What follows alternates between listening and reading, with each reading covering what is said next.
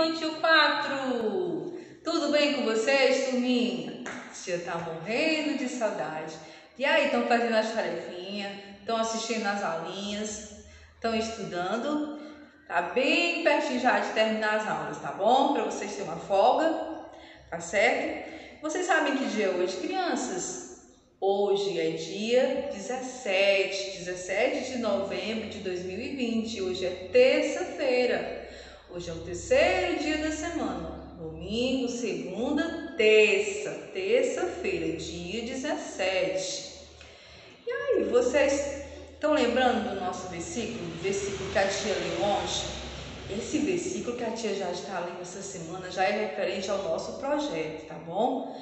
ao projeto Menina Bonita do Laço de Fita, tá bom? Que vai começar só amanhã, tá certo? Nosso projeto. Vocês lembram do nosso versículo que está lá na palavra de Deus? Ele diz o quê? Ó? Ele diz assim, ó, Deus trata a todos de modo igual. Deus trata a todos de modo igual. Está lá no livro de Atos, capítulo 10, versículo 34. Deus não é como o homem é, as pessoas tratam cada, cada, cada outra pessoa diferente, né? Se a pessoa é pobre, se a pessoa às vezes tem uma cozinha diferente, já trata diferente. Deus é assim? Deus não é assim. Deus nos ensina a tratarmos o nosso próximo de igual modo, né? E respeitar o nosso próximo, né? Não importa a sua cor da sua pele, não importa a sua condição, né? Se ele é pobre, se ele é rico, se ele é feio, se ele é bonito, se ele tem o um cabelo enroladinho, se ele tem o um cabelo liso, se tem os olhos azuis, se tem os olhos pretos, né? Então nós devemos ser como Deus, tá bom? Então vamos orar agora, agradecer ao Senhor pela, pelo, por tudo que o Senhor tem feito por nós. Vamos lá, crianças. Feche o olhinho, tá bom? E vamos orar contigo. Vamos lá. Papai do céu. Obrigado, Papai do Céu, por esse dia tão especial.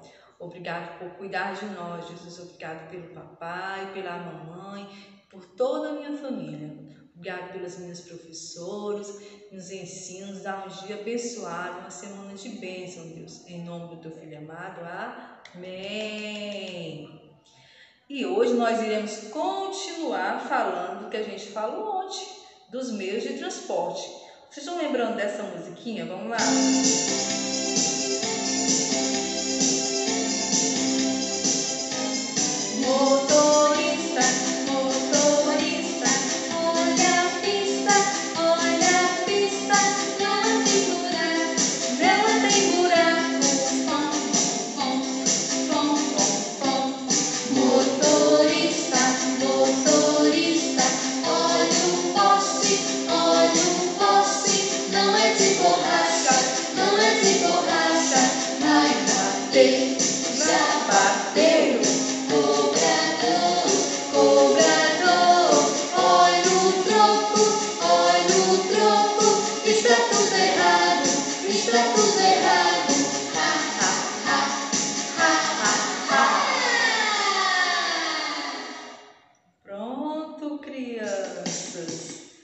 Que música legal, né?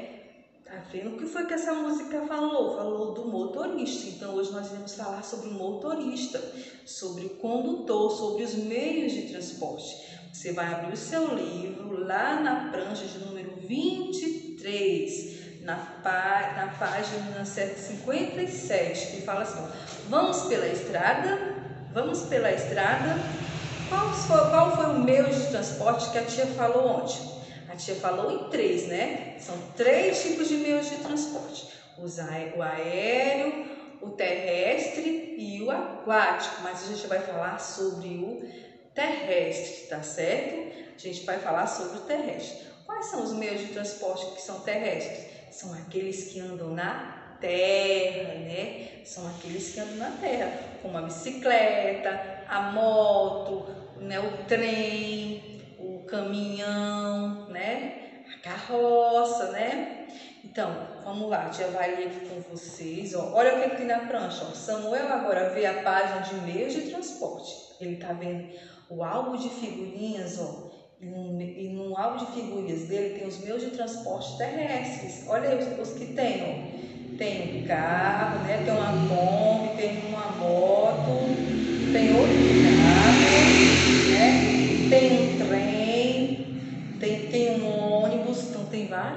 nesse álbum de figurinhas de Samuel.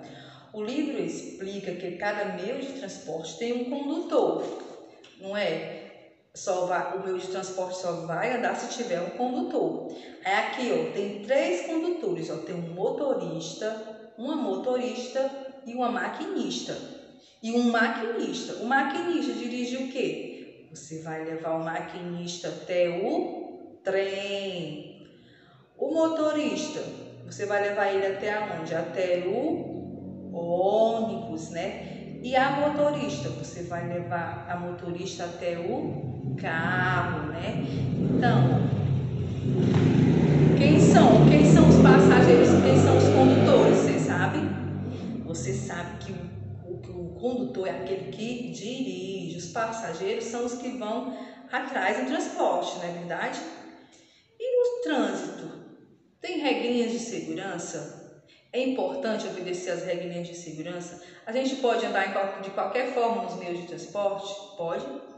Pode. A gente pode andar sem o cinto de segurança. A criança pode andar na frente, pode andar sem a cadeirinha? Não, né?